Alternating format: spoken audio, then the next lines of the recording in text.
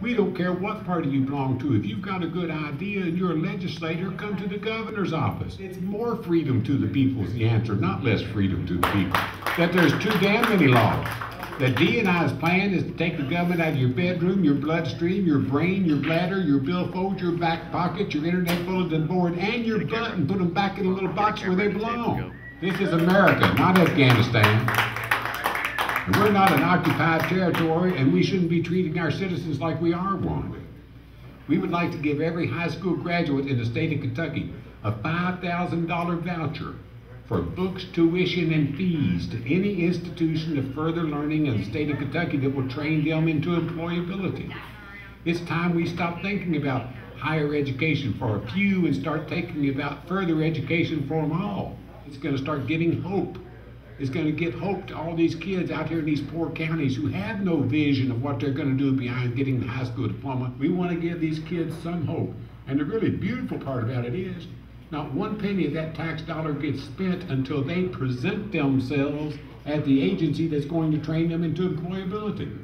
What we'd like to do is give economic incentives to get existing corporations and businesses in the state of Kentucky to implement state-of-the-art environmental compliance, which should uh, promote employment, help clean up the, the industries, and anchor some of these businesses in the state of Kentucky worker training programs that ought to entice in emerging industries who would like us to pay them to train our workers to work for that industry.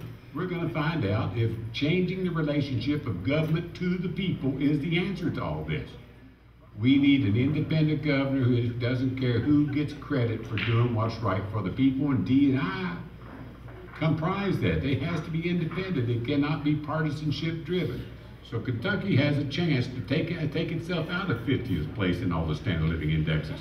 Kentucky has a chance to put a brand on itself as the new place to be, as the place where you can come and you can enjoy yourself and not be hassled and live a high quality of life and try to achieve the American dream by being left alone, by being recognized as your own sovereign. We're going to start giving dignity back to the people. And unless you show probable cause why you should be tested, you're going to be left the hell alone. November is a chance to vote for freedom, the best chance you'll ever have to rediscover what it's like to be American as far as serving under some sort of government goes.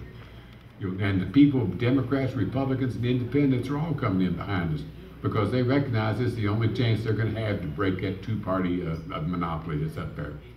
We have an opportunity to take back Kentucky, to take back America, and take back our American dream.